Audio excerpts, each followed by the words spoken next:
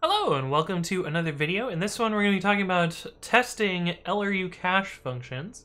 Uh, if you're not familiar with LRU cache, I did a video on it, so I will link that in the description. Uh, but let's jump into it.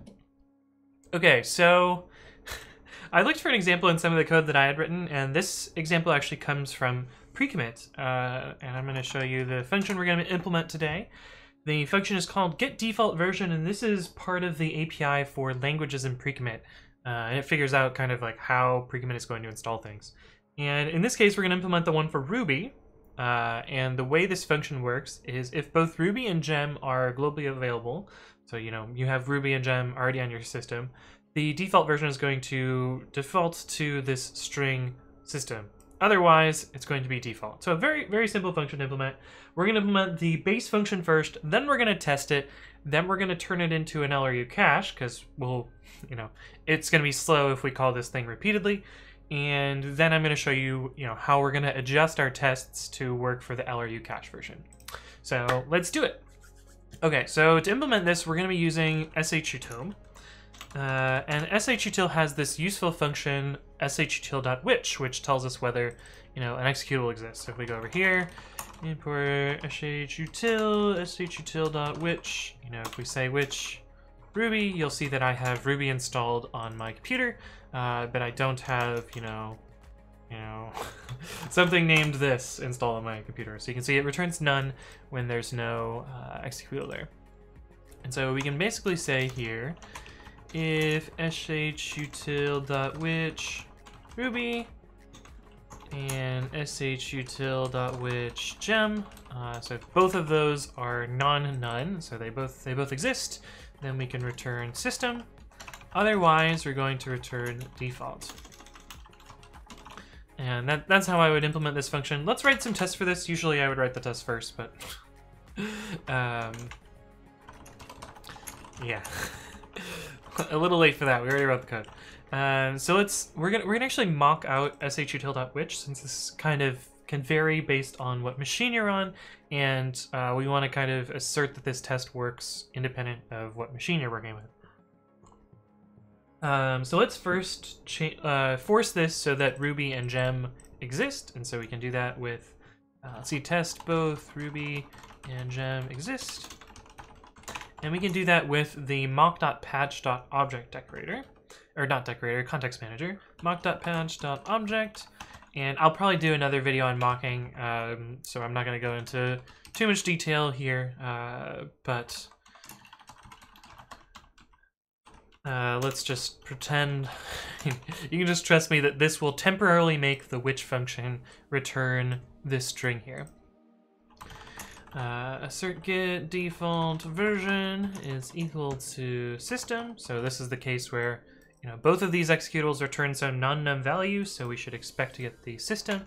And we'll do another test. Test uh, neither Ruby nor Gem exist. And we'll do a similar patch here. Uh, but in this case, we're going to return none instead. So this will this will force which to be falsy in both of these cases, and so we should get default as our answer here. And let's go over here and make a virtualenv and test this. Virtualenv venv, activate that, pip install pytest, and pytest t.py. And you can see that our two tests pass here. So we've we've validated that this function works. Cool. Everything is great. Um, but then you you notice, oh, you know, shutil.which can be kind of slow. Uh, it's not actually that slow, but it does traverse the file system. And in fact, like your um, your terminal will cache values that it looks up similar to how shutil.which caches. And I'll actually link I'll link the the bash hash cache video as well, which talks about that in the description. So you might think, oh, okay, well, you know, this is kind of slow. I'm gonna cache this, and so you would import functools and you would put, you'd slap a functools dot lru cache max size equals one decorator on this, and this cache should be safe because, you know, whether Ruby is installed or not shouldn't really change in the context of this process. So you can kind of, you know, if you see Ruby once, you know you're always going to have Ruby. Of course, it could possibly change, but that's so rare, and like you probably you probably have something else wrong with your machine if you're doing that. But anyway, we can add this LRU cache decorator to this function. So now this now this is cached, and so it's only going to execute this one time in the context of the process. But you'll notice if we go to our tests now, suddenly our second test is failing. And actually, if we would have swapped the order of these two, you'll notice that the other test will fail. So if I you know, put this one above here, you'll see that, um, you know, the, the opposite test fails. And this is because this function will always return the value that it returns the first time you run this function. And that brings us to our problem that we're trying to solve today, which is how do I test an LRU cache function? And I'm going to show you two ways to do that. Uh, I'll show you the way that I don't suggest first, and then the way that I suggest first. Uh, but you might need to mix and match these depending on how you're calling your function. Um, this first pattern is useful if is still useful, and, and I would still use it uh, if you're not directly calling the cache function. So if something else is calling your cache function, this other way is is more useful. And for that, we're going to make a PyTest fixture, and it's going to clear this cache before and after we run our test. And so the way you can do that is by making a pytest.fixture fixture uh, clear LRU cache and we're gonna we have to import PyTest to do that. And what we're gonna do is we're gonna make a yield fixture. So it's gonna do some setup code before the yield and some setup code after the yield. I haven't done a PyTest fixture video yet, but I, I will do one on that as well. So, you know, if, if you're here in the future, search that in the description or search that in the playlist. Um, but we're to clear the cache before we run our test. So yield is when the test runs. So before the yield, we'll do get default version dot clear or is it, I think it's cache clear. I just forget. Uh, and we're going to do that after as well. So this allows the test to use a completely uncached version of this function. And you'll see, uh, even though we define the fixture, that doesn't cause this to pass. But we can set this fixture to auto use, auto use equals true, that will make it automatically run this fixture for every test in this module. You may not want that, so you can explicitly enable the fixture instead by using pytest.mark use fixtures clear LRU cache. And so you can manually mark these two tests as using that fixture. So if we get rid of auto use up here, it should still work. Cool. Okay, so this is approach one. Uh, this is the explicitly clear the cache in between each test run.